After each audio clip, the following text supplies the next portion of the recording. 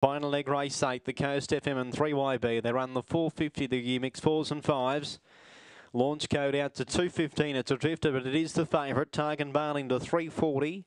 Flying ability into 750. The green light on. They're set to run. Race eight Warrnambool. They're ready. Racing. Away fast, the favourite out wide. Launch code tries to cross and lead. Flying ability goes up to second. Third, the inside Targan Bale.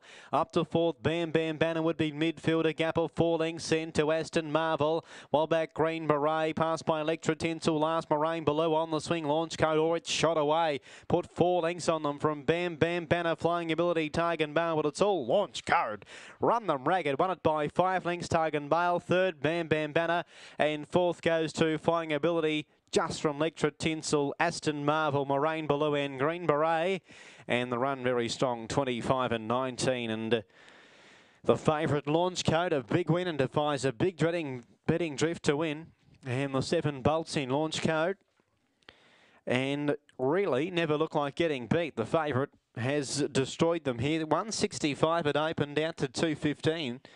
You got a handy price if you were able to get on when the market did drift, but it's uh, got the cash none the wiser. Seven, one, two, three. The numbers seven, one, two, three.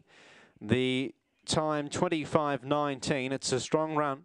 6.55 first split. The second in 11.44 in the run home. 13 and 75. Seven and a half lengths a winning margin by a half length second and third. Seven one two three seven launch code a black dog by Fernando Bale out of Extreme Summer.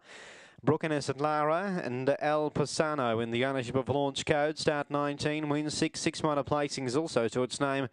And tonight over 38,000 in prize money. And that gives Brooke a double with uh, her also earlier win with My Magic